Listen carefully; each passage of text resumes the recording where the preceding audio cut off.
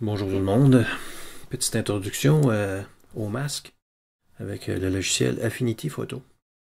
Ici, on a capture lors du Grand Prix de Trois-Rivières, un caméraman pour le réseau de télévision et de broadcast.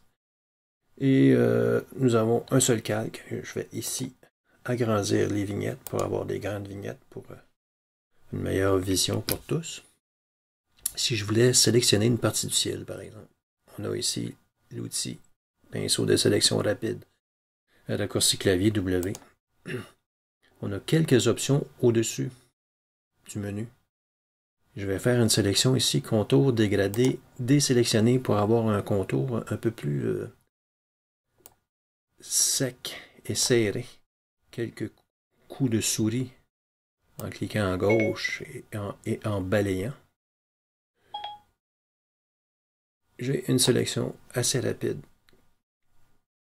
À travers le menu des calques, on pourra aller se créer un nouveau calque de réglage, par exemple, pour, euh, disons, une courbe. Vu que j'avais déjà une sélection, je vais désélectionner, menu sélectionner, désélectionner, commande D pour Mac et CTRL D pour PC. On peut voir le masque qui a été créé pour le calque de réglage. Si je remonte un peu ma fenêtre pour avoir d'autres options, aller en mode de fusion de luminosité pour ne pas impacter la saturation. Je peux aussi bien euh, noircir, assombrir mon ciel.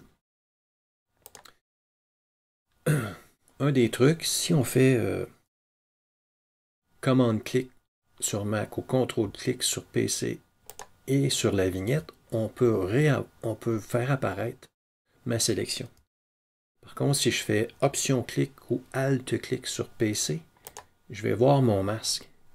si je prends ma loupe, vu que je n'avais pas des bords dégradés, notre masque a des arêtes très très abruptes. C'est le désavantage de cette option. Je vais aller me chercher un autre calque différent cette fois-ci. Pour, faire une sélection, nous devons, entre autres, sélectionner le calque de pixels et non pas un calque de réglage qui n'a aucun pixel à l'intérieur. Plus difficile de faire une sélection dans ce cas-là. Si je reviens ici et que je viens faire un contour dégradé pour la même sélection, et si je fais option glisser pour soustraire au lieu d'additionner, pour avoir le contour du ciel seulement, à partir de cette sélection, je peux faire un nouveau calque de réglage, disons pour la saturation cette fois-ci. Je vais désélectionner avec CTRL D, commande D pour Macintosh. Et je vais prendre les bleus, mon sélecteur de couleurs. Je viens sélectionner carrément le type de bleu que je veux impacter. Donc, par mon sélecteur de couleurs que j'ai appliqué,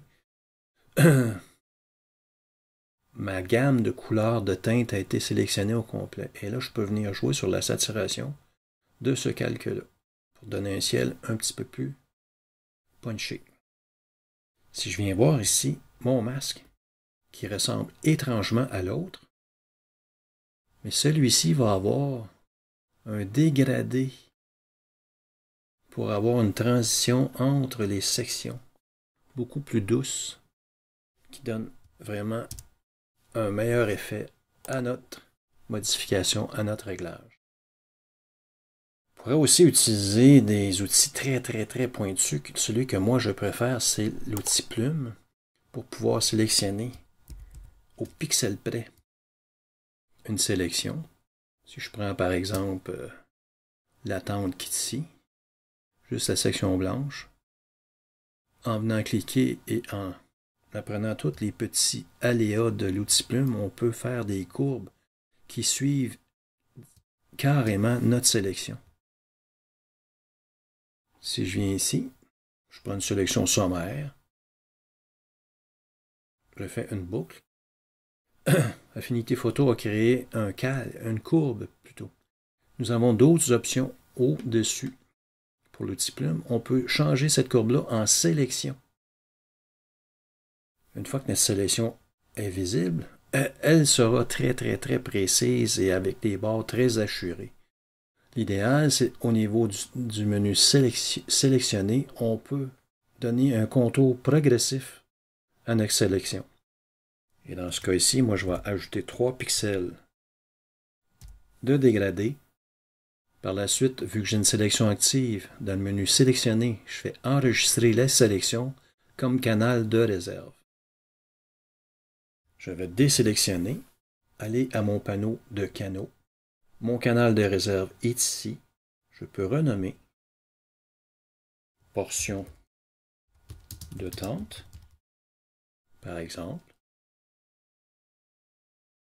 Et l'avantage d'avoir des masques ou des calques indépendants, je décide ici de venir appliquer une courbe de luminosité et contraste en mode luminosité parce que je ne veux pas jouer sur la saturation non plus de ma sélection. Je peux ajouter un masque par la suite au lieu de faire ma sélection ma barre, je la fais en second lieu pour ajouter un masque à ce calque de réglage.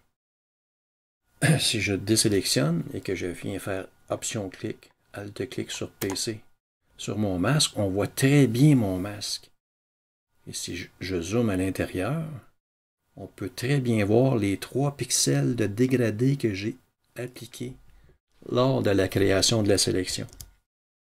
Là, vous me dites pourquoi je passerais par un calque de réglage auquel on ajoute un masque?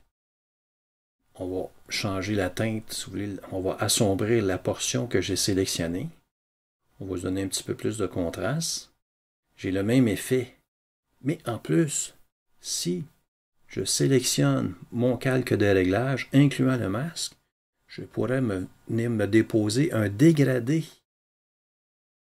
qui me donne une deuxième couche de finesse à travers ma sélection. Ici, si je m'en viens et je décide d'appliquer mon point de dégradé est en gris, mais si je viens demander de tomber en noir, je peux venir jouer sur un dégradé quelconque pour assombrir et peaufiner mon réglage. Ça me donne deux niveaux de masque différents. J'ai mon calque, mon masque et ma sélection qu'on a vu mais j'ai aussi un masque pour mon calque de réglage. J'ai un dégradé qu'on peut voir à l'écran qui ne s'applique qu'à la zone de mon masque. La nuance est toute là. Donc, ça nous donne un outil supplémentaire pour pouvoir faire des réglages très, très, très pointus que je trouve supérieurs à appliquer une sélection à un calque de réglage. Sur ce, à la prochaine.